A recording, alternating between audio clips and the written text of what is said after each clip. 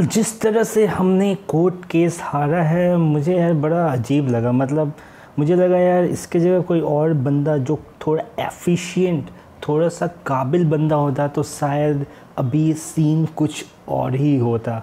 क्योंकि यार दो साल, ऐसे तो केसेस बहुत टाइम तक एक्सटेंड होते हैं, इसमें कोई डाउट नहीं है। ये कोई भी केसेस हो नॉर्मल केसेस भी पाँच छः साल ऐसे खींचते हैं, उसमें कोई डाउट नहीं है।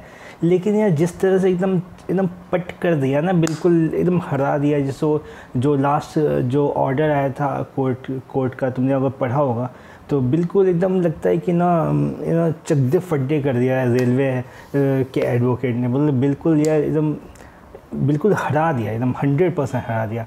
सो so, मुझे लगा यार ये बंदा जो है Rakesh Yadav he is not an efficient advocate as far as to fight our case right so मुझे लगता है कि कोई और होता तो शायद इतनी बुरी तरह से नहीं हारते और शायद एक पॉजिटिव आउटकम ज़रूर आता जिस तरह से बिल्कुल कि यार कोर्ट को भी लगा यार कि इसके बाद में दम, शायद ये प्रेजेंट करने का भी एक तरीका होता है ना। किसी चीज़ को कोई इतने अच्छे से प्रेजेंट करता है कि लाइक वही चीज़ हिट हो जाती है और कोई चीज़, वही चीज़ को प्रेजेंट उस तरह से नहीं कर पाते जिससे कि एक पब्लिक अट्रैक्ट हो। तो ये भी एक बात होती है। सो मुझे लग रहा है यार कि वेल well, मैं उसकी रिस्पेक्ट करता हूँ कि उसने एटलीस्ट हमारा केस ले रहा है लेकिन भाई सिर्फ़ इमोशन से काम नहीं चलता है ना थोड़ा सा काबिलियत भी होना ज़रूरी है। या तुम एक ऐसे टीचर से पढ़ो जिसको खुद कुछ नहीं आता है क्या उस टीचर से इसलिए पढ़ोगे क्योंकि वो सिर्फ़ फ्री में पढ़ाते हैं? नहीं ना थोड़ा सा पैसे ही दे के एक अच्छे टीचर से ही पढ़ोगे उसी तरह है यार। यहाँ पे केस तो ये हो गया लेकिन शायद हमने एक गलत और इनएफिशिएंट एक एडवोकेट को यूज़ किया जिससे हमें इस तरह का आउटकम देखने को मिला right anyways guys all I can say is to do whatever the thing possible you know what क्योंकि यार अभी भी बहुत कुछ पॉसिबिलिटीज़ है। अभी भी कोई एग्ज़ाम डेट का कुछ भी ये पता नहीं कि या टीसीएस लेने वाला है या दूसरी रिक्रूटमेंट एजेंसी लेने वाली है। उस पर भी मैं नेक्स्ट वीडियो में बात करूँगा, लेकिन यार अभी फ़िलहाल के लिए यही कर सकते हो या कॉल वॉल करो और ट्वीट करते रहो। Tweet keep quit tweeting you know mailing R T I डालो है R T I is a very good thing R T I डालो।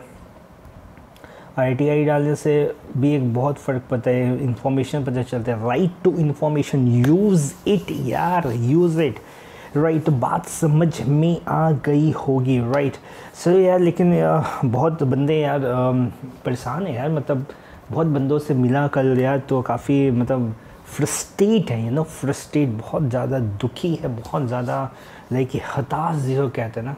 तो यार मतलब बहुत ये मतलब जैसे कि उसने फोर परसेंट लेकिन यार जब बंदों से मिलते हो यार जब बात करते हो तो पता चलती है कि एक इंसान पे क्या बीतती है राइट सो so, कल मैंने कुछ बंदों से बात किया यार तो मुझे बड़ा लगा यार no it just not about four percent is more than that right so कि यार ऐसे कौन रेलवे को समझाए? ऐसे तो यार हाथ में हाथ में नहीं रख सकते हैं ना?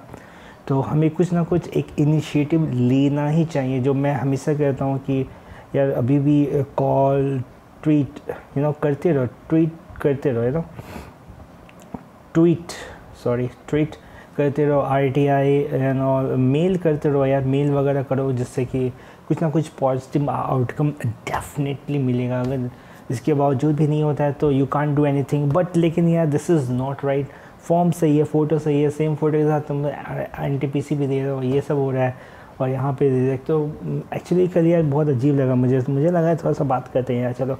बात समझ में आ गई होगी right so this is me signing off from this video have a great day.